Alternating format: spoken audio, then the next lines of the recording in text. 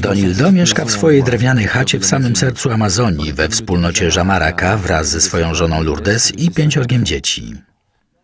Rodzina utrzymuje się ze sprzedaży lateksu, mąki z manioku oraz owoców. Donildo zajmuje się głównie rybołówstwem i poluje w lesie na aguti, antylopy, małpy i pancerniki. Zaledwie kilka kilometrów od domu Donildo ścierają się dwa światy.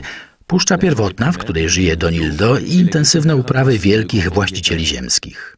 Jest to typowa sytuacja w strefie klimatu równikowego. Rozległe lasy są stopniowo zastępowane polami rolnymi. Soja trafiła tu zaledwie 10 lat temu. Zatrzymanie wylesiania stanowi najważniejsze lokalne wyzwanie dla Donildo, ponieważ las sam generuje opady. Naukowcy zaobserwowali spadek intensywności deszczu na nizinie amazońskiej o 9% w ciągu ostatnich 40 lat. Ta tendencja jest bez wątpienia skutkiem globalnych zmian klimatu. Czy wynika także z wylesiania? Tego naukowcy nie wiedzą. Ah, Nie wyobrażam sobie życia bez lasu. Puszcza jest źródłem życia. É, a- ela tem vantagem, a floresta, porque é muito lindo. Não é Należy chronić las, a nie niszczyć go i ścinać drzewa. um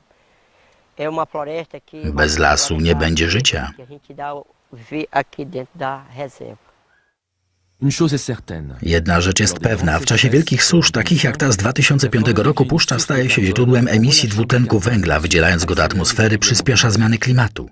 Puszcze są niezbędne do życia tubylcom takim jak Donildo, ale także gwarantują równowagę klimatyczną planety.